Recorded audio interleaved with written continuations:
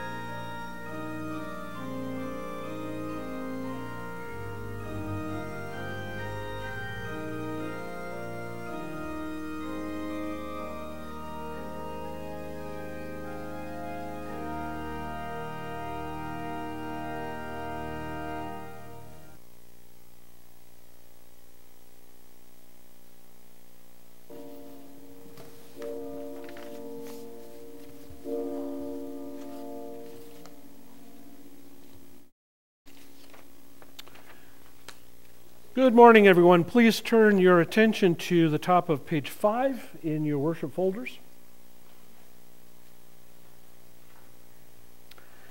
Advent is a time to praise.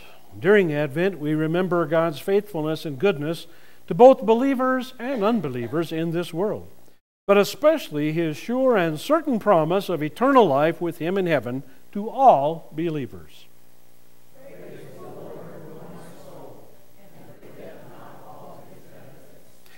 In coming finally to the fourth candle, we give praise and glory to God for keeping his promise to send us a Savior in the holy person of his beloved Son, Jesus of Nazareth.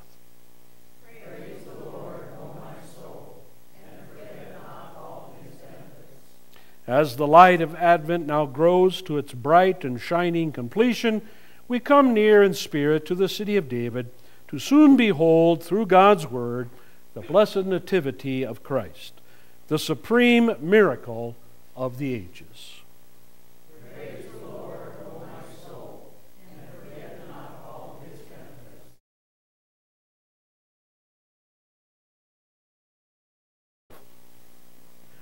Please join now in the opening hymn, the first three verses.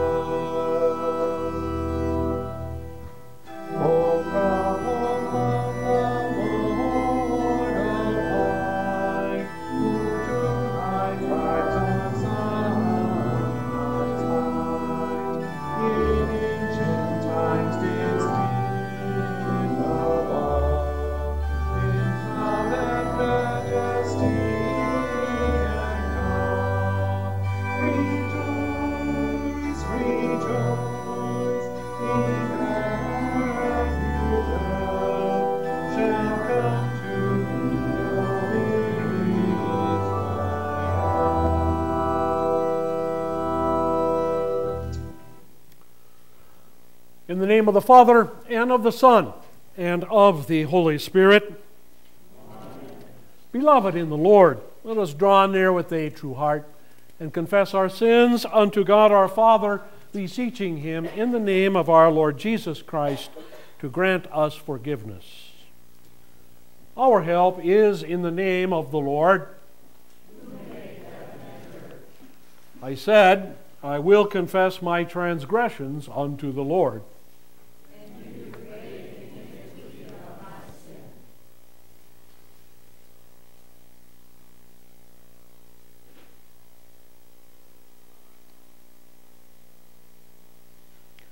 Almighty God, our Maker and Redeemer, we poor sinners confess unto you that we are by nature sinful and unclean, and that we have sinned against you by thought, word, and deed. Wherefore we flee for refuge to your infinite mercy, seeking and imploring your grace for the sake of our Lord Jesus Christ. O most merciful God, who has given your only begotten Son to die for us, have mercy upon us, and for his sake grant us remission of all our sins, and by your Holy Spirit, increase in us true knowledge of you and your will, and true obedience to your word, to the end that by your grace we may come to everlasting life. Through Jesus Christ our Lord. Amen.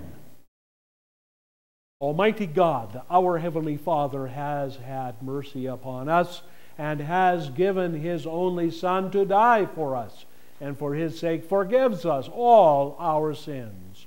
To those who believe on His name, He gives power to become the children of God and has promised them His Holy Spirit. He that believes and is baptized shall be saved. Grant this, Lord, unto us all.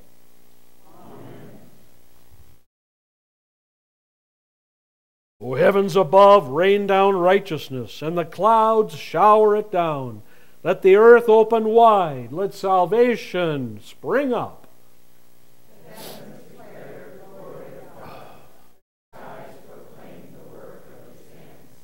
Praise the Lord.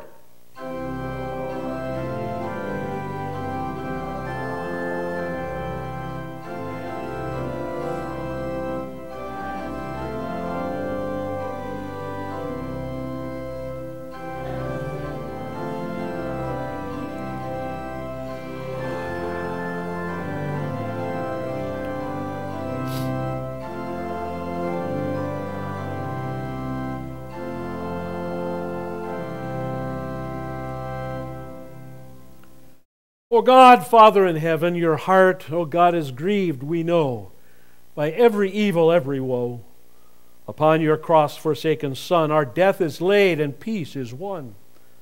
O Son of God, Redeemer of the world, your arms extend, O Christ, to save from sting of death and grasp of grave.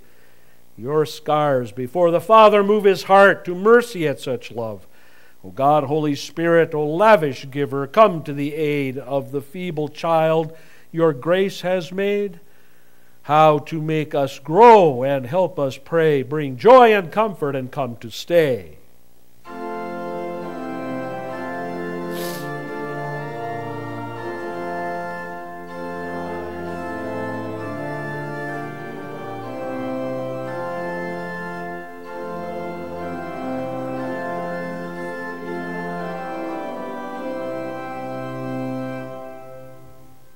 Please be seated. Let us give glory to our God.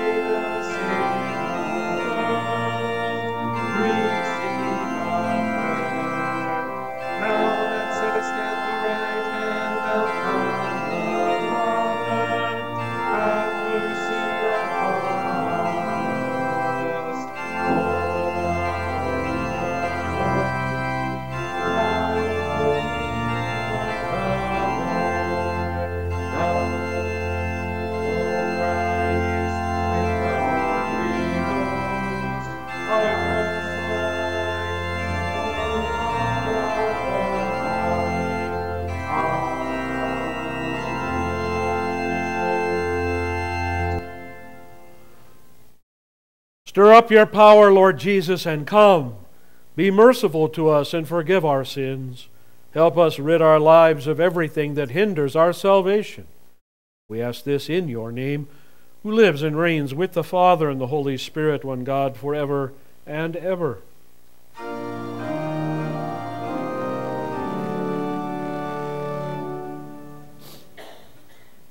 Our Old Testament reading for this morning is given to us by Moses in his final book, the book of Deuteronomy, chapter 18. The Lord your God will raise up for you a prophet like me from among you, from your countrymen. You shall listen to him. This is according to all that you ask of the Lord your God at Horeb on the day of the assembly, saying, Oh, let me not hear again the voice of the Lord my God. Let me not see his great fire any more, or I will die. The Lord said to me, They have spoken well. I will raise up a prophet from among their countrymen, like you, and I will put my words in his mouth, and he shall speak to them all that I command him.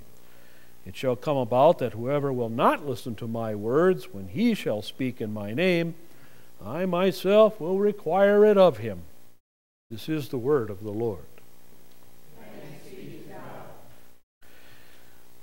Our psalm portion comes from Psalm 119 and 111. He has sent redemption to his people. He has ordained his covenant forever. The fear of the Lord is the beginning of wisdom. A good understanding have all those who do his commandments. Our epistle is given to us by St. Paul as he writes to the Philippian congregation, chapter 4. Rejoice in the Lord always. Again, I will say, rejoice. Let your gentle spirit be known to all men. The Lord is near.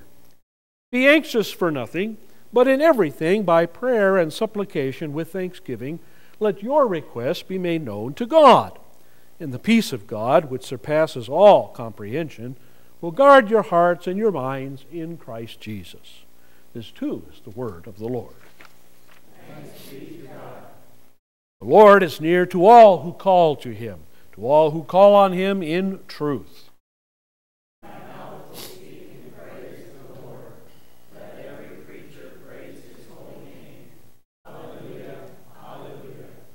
You are my help and my deliverer. Oh my God, do not delay. Hallelujah.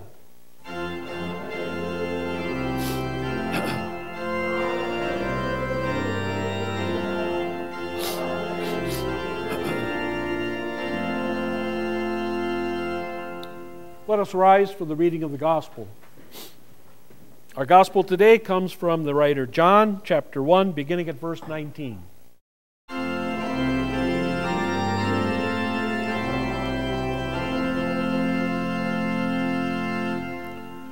This is the testimony of John when the Jews sent to him priests and Levites from Jerusalem to ask him, Who are you?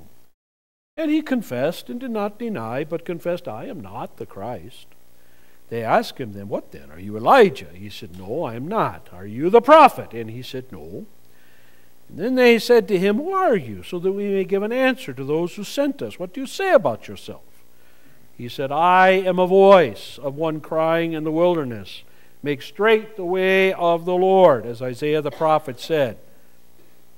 Now they had been sent from the Pharisees, and they asked him and said to him, Why then are you baptizing, if you are not the Christ, nor Elijah, nor the prophet? John answered them, saying, I baptize with water, but among you stands one whom you do not know. It is he who comes after me, the thong of whose sandal I am not worthy to untie. These things took place in Bethany beyond the Jordan, where God was where John was baptizing. Here ends the gospel.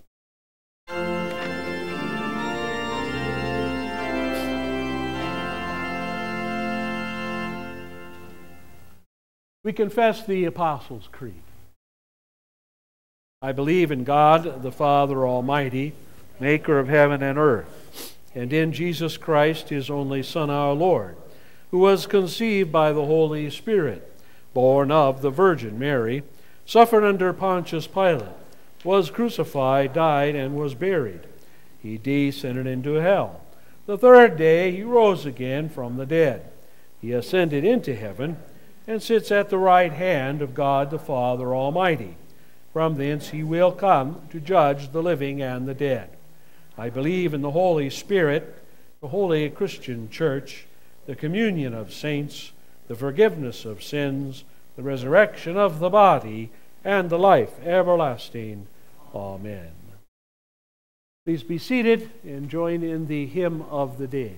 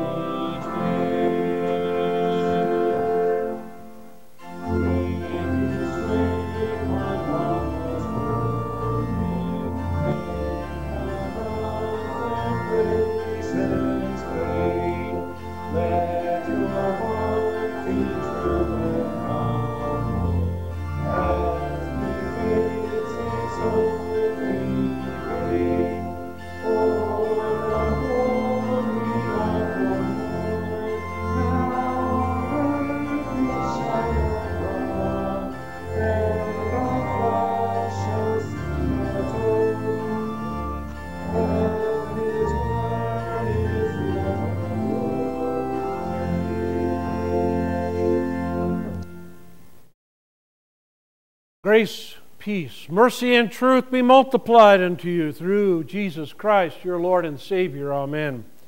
God's word for our study briefly this morning is given to us in our gospel reading using this verse. Verse 23, where John answers, I am a voice of one crying in the wilderness, make straight the way of the Lord as Isaiah the prophet said. O Lord, may the words of my mouth and the meditation of all of our hearts now be acceptable in your sight, our strength and our Redeemer. Amen. Please be seated. Well, did you get the first warning? If you got the paper, you did, the local paper. but it's also been uh, on uh, various online sites. The warning, I say, about extensive road work is going to be done along our highways here, especially the junction there of 90 and 92. Kind of everybody in town passes through that intersection at one time or another. Can you imagine when they start ripping the whole thing up? We're all going to have to find different ways to get around. It's not going to be fun, but we hope in the end will be worth it. We won't have to take our cars in for realignment quite so often. We know what to expect, don't we? We know it's going to take months and months. We know that the way it's going to be done probably won't be real efficient. We know there'll probably be stoppages from time to time, but we have the warning. We know what to expect, and so I think maybe, possibly, we can be ready for it. The words that we get are both a warning, but also a, a reason for us to rejoice so that we don't have the problems that we have had recently. That's a lot like what John is doing here. He's being the herald of both warning and rejoicing. John's job is not easy. Our job in proclaiming Christ, even at this wonderful festive time of the year, is also not easy.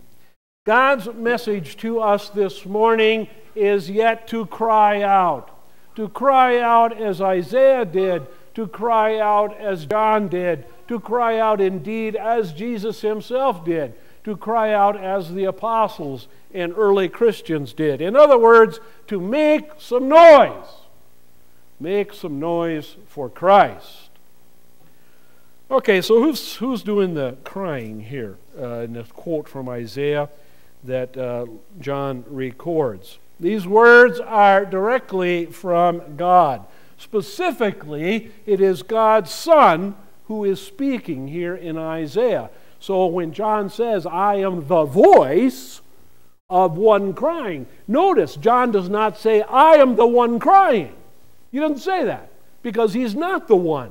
He's the voice of one. In other words, he's preparing the way for the Messiah. He spoke God here in the guise of Christ, the Messiah, first into Isaiah and then to many other Old Testament prophets. And they were indeed crying out, trying to get the attention of people. This is the only voice of God that we must listen to, the voice here in Holy Scripture. God does not come in dreams, my friends. God does not come in visions except to those already mentioned in Scripture. God comes only now in these latter days, in these last times. God comes only in His holy word, the Holy Scriptures. There is where the crying is done. And our crying needs to mimic that crying, it needs to match the Word of God in every point of teaching, in every point of doctrine. Jesus himself proclaimed often in his ministry that he was the truth and that he spoke the truth and only the truth. And that is what you find in the pages of the Bible is truth, directly from God's mouth to our ears, to our brains. Huh? God's absolute truth. So when you cry out, when you talk about Christ, make sure you are talking about the truth. Every faithful preacher, every faithful teacher, every faithful believer that speaks about Jesus to anyone must speak the truth. Okay, so what is this truth? Well, again, John says, the voice of one crying in the wilderness, make straight the way of the Lord. Now, the Lord's way doesn't need to be made straight. It's not can't mean that because he's perfect. He is God, and Christ was God and is God. And so his way is perfect. That's not what he's talking about. He's talking about the way in front of, the way before, the way uh, to prepare. All right? To prepare for the coming, to make ready a road for God, a clear path, as it were, right into our hearts and minds. And what do you have to do in order to clear a path? What do you have to do in order to clear the decks? You have to get everything out of the way. What do we have to get out of the way, folks? We have to get out sin out of our ways. And so the first thing to do when you're preparing the way of the Lord, when you're getting the road in front of Him, not His road, but the road, your road in front of Him, when you're getting that ready, you're repenting. You're getting rid of, first of all, spiritual indifference. That's what this world has more than anything else spiritual indifference. People simply do not care right now, today, about God. It's not that they don't believe in Him. Maybe they would believe in Him if they thought, uh, if they cared uh, very much. They don't care. Nobody seems to care about hell anymore. Nobody seems to care about displeasing God anymore. Nobody seems to be at all concerned about Jesus coming back and assigning them to the flames of perdition. That seems to be the furthest thought from their mind. Oh, God's okay with me.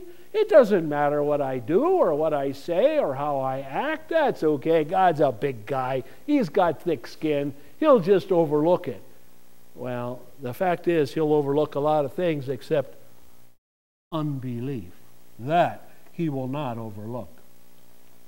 Unbelief is blasphemy to God. Unbelief is saying God doesn't exist and that God hasn't done the great things that He has done. And so we got to get rid of that false security. We've got to get rid of that spiritual indifference, that self righteousness. We've got to, we need to repent. We need to turn around and think an opposite direction. That goes for us as well as the unbelievers out there. We need to do that every day. What did Luther say? Luther said, Daily we need to drown the old Adam in repentance. Huh? That old Adam is always clawing to the surface. That old Adam is always getting up there and trying to make us follow the way of the devil. He's always there. And so repent is the best way to go. That's why John, his message, and Jesus, his message at the first also was repent, for the kingdom of God is right coming right now. The kingdom of God is right at hand. You know, we don't know when the kingdom of God will actually show up. We don't know when Jesus will show up. He could show up five seconds from now, he could show up 500 years from now. We don't know which. But we need to be prepared, and the way to be prepared is to be in a mindset of repentance, to be in a mindset that understands yes, we have sinned before God, and yes, therefore, we ask God's forgiveness. We believe in the, the forgiveness of Christ, and we believe in his sacrifice to cover the sins of the whole world, everybody included, including us. You see, in order to have a Savior, folks, you gotta need a Savior first. Hmm? And we need one just like everybody else. We're not above everybody else. We're not better than anybody else. We're not higher than everybody else. We're not more holy than everybody else. No, not at all. The difference between us and everybody else out there, all the unbelievers, is simply that God has created faith in our hearts with the words of Scripture and with baptism, and strengthened it with the Lord's Supper and with absolution. We have the Word of God. We have the means of grace, the Word of God, the gospel in word and sacrament. That's what we have. That what makes different. And where do you get that? You get that in church. Huh? And so the problem with our society is not simply that people aren't filling the churches anymore, but people don't care to fill the churches anymore. Hmm? They really don't. Doesn't matter to them anymore. Okay? Why? Because they don't think they need it. Well, we know different, don't we? Now, this is, of course, impossible to do by ourselves. We can't come to this by our own thinking, or as Luther said, by our own choosing. Hmm? We can't even begin this test. The Holy Spirit has to do the heavy lifting. The Holy Spirit has to be the ones that brings us to God and cleanses our hearts. And then, what is our next step is not to clutter it up again. How do we clutter it up again? You know what? We clutter it up again with the things of this world. See, that's the problem with Christmas nowadays. I think we all know that. I think we all understand the problem is that it gets cluttered, the worldly with the spiritual. You know, the, the idea of St. Nicholas who did exist and did good things. Why? Because he was a believer, because he appreciated the salvation that was given to him by Jesus Christ, gets all mixed up with Sinterklaas. Hmm? Gets all mixed up with Father Christmas. And the two kind of get all jumbled together. It's our job, folks, to keep them separate. You know, there's a lot of people out there claim the title Christians who would condemn us for having a tree here. Ooh, that's a pagan symbol. And this a pagan symbol. And all kinds of other things are pagan symbols. Oh, isn't that terrible? Okay? That's not the point. It's not the issue whether you can't have Santa Claus if you want to, or St. Nicholas, or the Christ child, or the babe of Bethlehem. Okay? That's not the issue. The issue is, okay, let, you know, what did Jesus say? Huh? Huh? Render unto Caesar that which is Caesar's, and unto God that which is God's. Okay? So, hey, why don't you do that with your own life? Render under Santa Claus what is Santa Claus's. And render under Christ what is Christ's. All right? Okay? And so we have our worship services for that. We have our worship service, uh, uh, regular Sunday one, of course, today, but tonight we got a worship service, right? And that worship service and the worship service in the uh, Monday morning uh, are both centered on Christ. It's not that one is centered on little kids. Granted, we don't have a lot of little kids, but it wouldn't matter whether we had 30 kids in our Sunday school or two. Okay? The point is not that it's not centered on the kids and it's not centered just on a bunch of nice little Christmas carols. That's not the issue. The issue is you come here tonight to worship Jesus.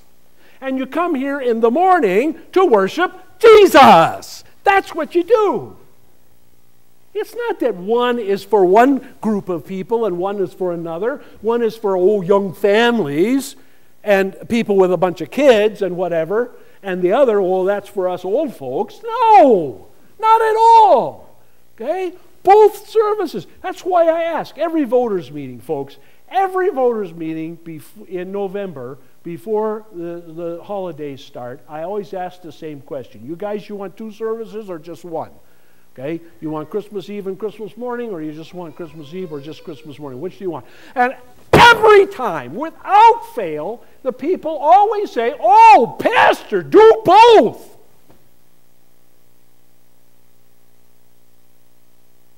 And then what happens? 20 people show up at the evening service expecting the place to be filled with visitors. Well, you know, let me tell you something about visitors. I'll tell you something about visitors. I've been in this business for 42 years. Okay? And I'll tell you something about church lookers people that come to looking for church, so someplace to go to church for the rest of their lives. One of the things that they do when they walk in the door is look around. And if they look around and they see the place totally empty, they say, This ain't the place for me because the people here don't even care enough to show up. Eh? And then, of course, we have the different 20 people, or maybe the same 20 people, show up in the morning. Okay, that's fine. That's great. That's wonderful. Love them. You know me. I'll show up if there's two people here. You know, that's, that's my thing. I get paid the same no matter what. But where's our crying out? Where's our voice in the wilderness? And let me tell you, man, this world out there is a wilderness. And it doesn't just need our voice, it needs our example. All right? It needs your neighbor needs to see you taken off at 5:30 this evening and 9 o'clock in the morning to get here. Yeah, that's the fact, Jack. So who is uh, who is John speaking to here in Isaiah 2, for that matter? Those in the wilderness, those in the desert. That's where a lot of the crying takes place. What is that? Well, I'll tell you what that is. That's the world. It's the world separated from God and paradise.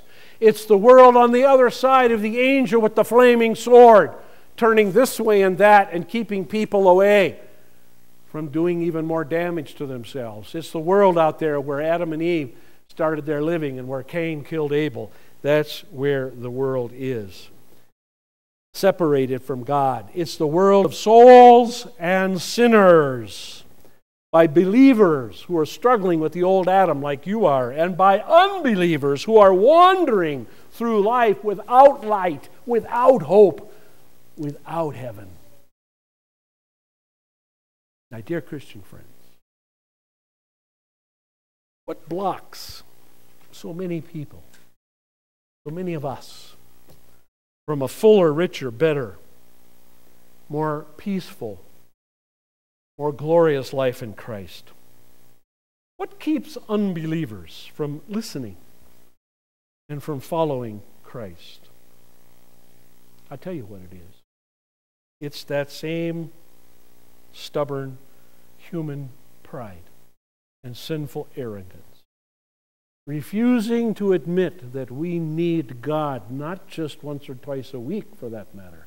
We need God every day and every moment of our lives. My dear friends, please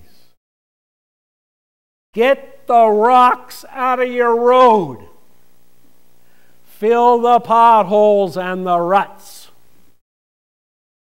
Repair your highway before the Lord. We need to fix the curbs and gutters of our lives. We need to straighten out the curbs we need to get the highway of our hearts ready for the returning Christ. And the best way to do that is to worship the first coming of Christ. Because worshiping the first coming of Christ reminds us that he's coming back again. And so I say to you today, in your life, in your prayers, in your actions, in your words to neighbors and friends and family. Let's make some noise, eh? Let's do a little crying out there in the wilderness. Let's do it about Christ. Amen.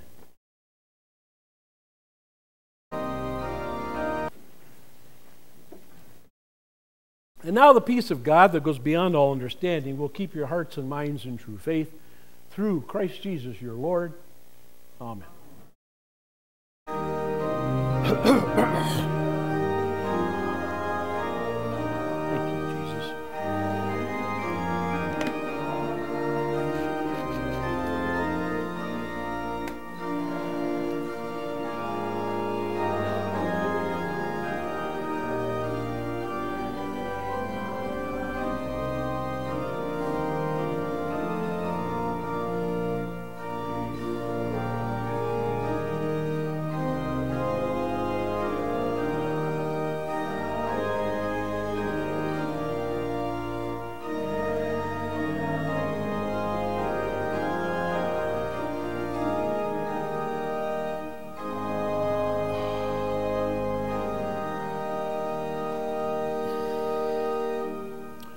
Please be seated for prayer.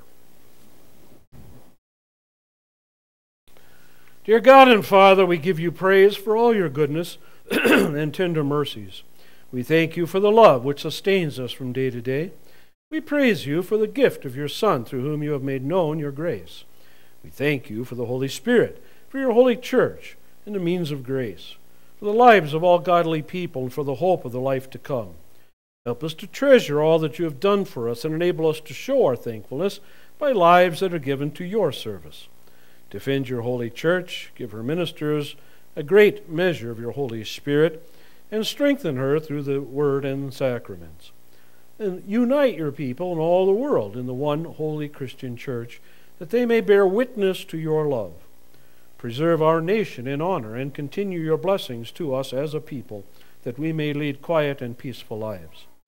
Grant health and wisdom to all that hold office, and call them to know and obey your holy will. Give all people a Christ like mind. Remove all hatred, prejudice, and whatever hinders peace and justice. Sanctify our homes with your light and joy.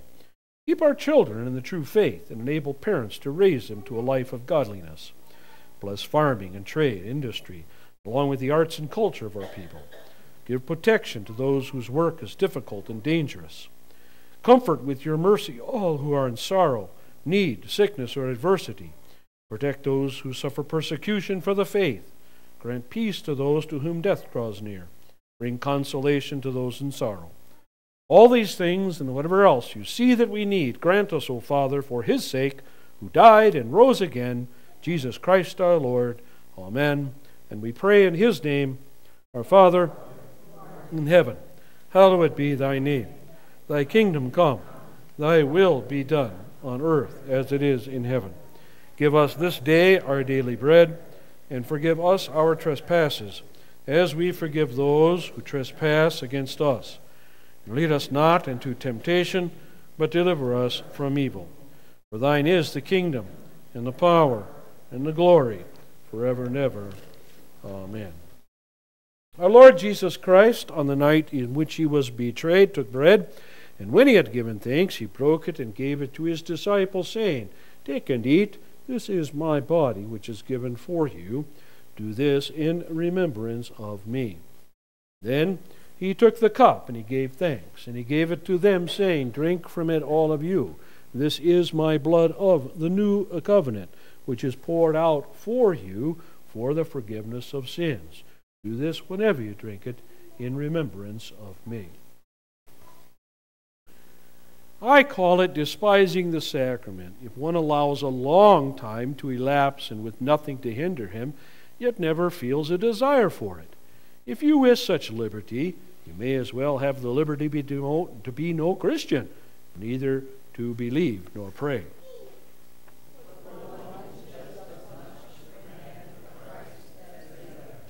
But if you wish to be a Christian, you must from time to time obey this command of our engagement may now come forward for the Lord's Supper.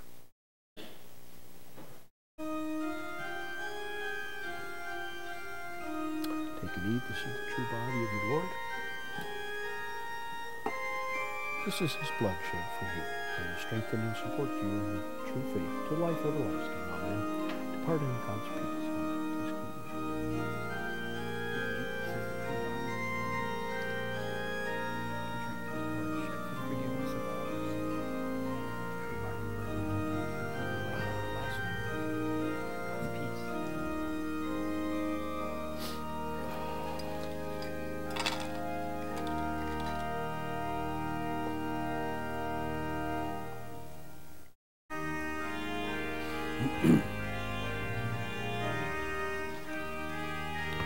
Take and eat. This is the true body of your Lord and Savior Jesus Christ, given up unto death, even the death of the cross, for the forgiveness of all of your sins.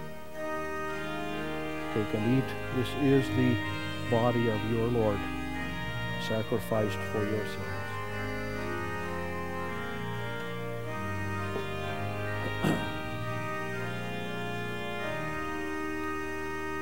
Take and drink. This is the blood of your Lord shed for you.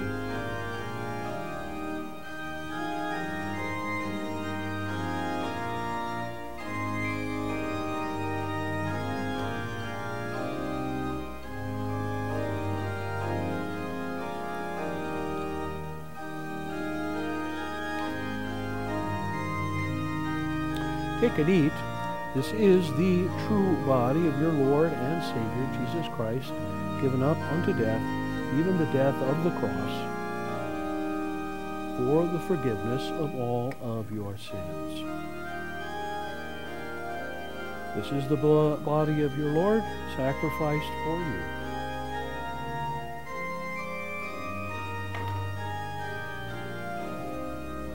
Take and drink. This is the blood of Christ shed for your sins.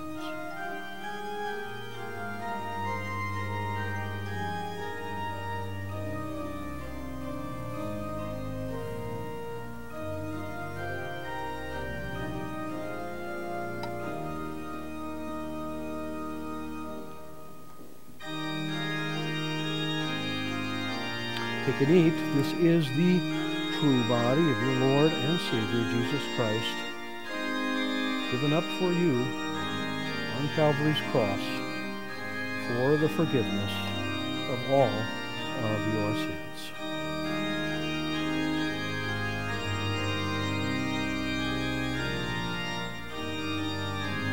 This is the blood of Christ shed for you.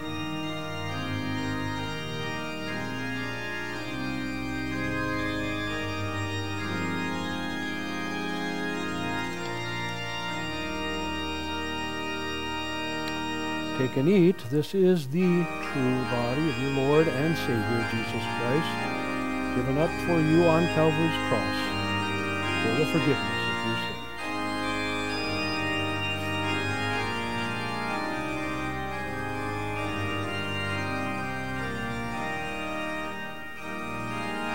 This is the true body of your Lord and Savior Jesus Christ, given up for you on the cross for all of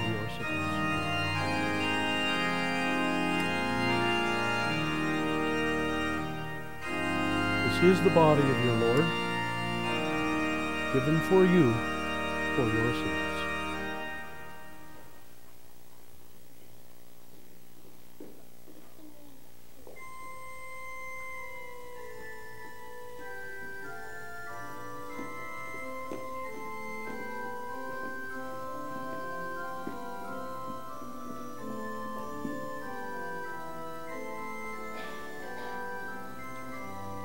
Take and eat. This is the true body of your Lord, given up for you on Calvary's cross. Take and eat. This is the true body of your Lord and Savior, Jesus Christ, given up for you for the forgiveness of all of your sins. This is the blood of your Lord, shed for you on the cross for the forgiveness of your sins.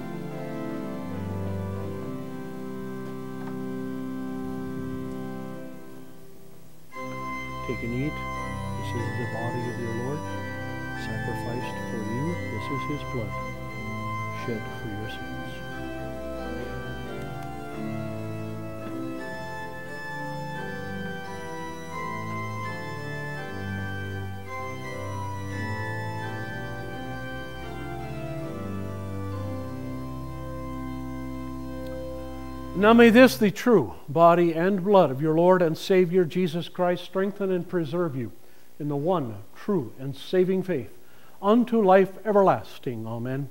Depart in God's peace. Amen.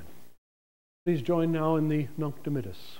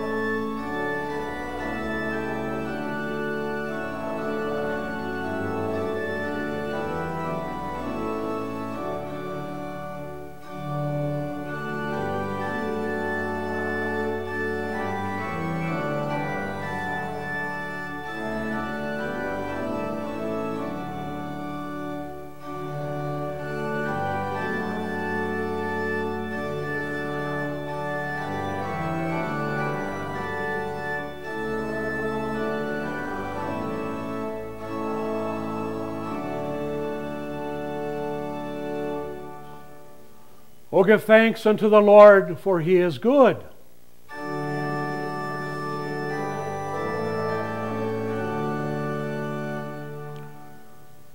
O God the Father, the fountain and source of all goodness, who in loving kindness sent your only begotten Son into the flesh. We thank you that for his sake you have given us pardon and peace in this sacrament. And we ask you not to forsake your children, but always to rule in our hearts and minds by your Holy Spirit, so that we may be enabled constantly to serve you. Through Jesus Christ, your Son, our Lord, who lives and reigns with you and the Holy Spirit, one God, now and forever.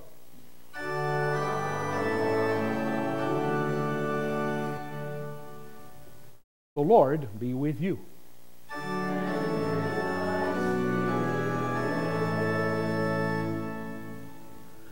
Bless we the Lord.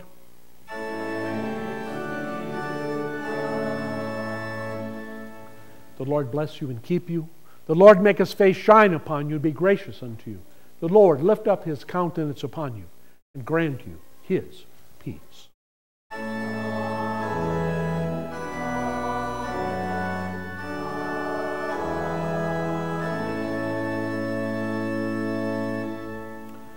Please join now in singing the last and four remaining verses of the first hymn for our closing hymn.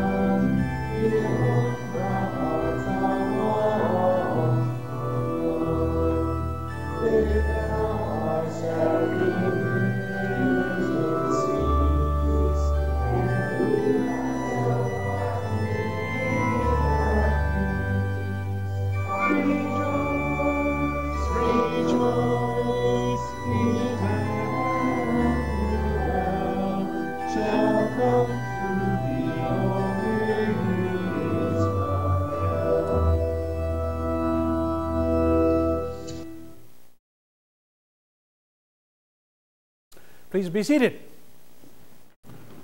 A very good morning once again to everyone. Good to have you here as always. Uh, just a couple of reminders. Uh, today being a holiday weekend, there's no fellowship or in the fellowship hall, uh, and there's not very much coffee left either. So don't bother. Okay, nothing, nothing, nothing for you to get. Uh, we do continue though this coming week with Bible class on Tuesday. that will be held as usual at 10 o'clock. And then tonight we have a service, uh, 6 o'clock, mostly, as I said, carols and readings. And then tomorrow morning, 9.30, uh, a communion service using Martin Luther's uh, um, common service. That will be again 9.30 tomorrow morning and 6 o'clock this evening, carols and readings. Okay? Thank you very much. Good morning.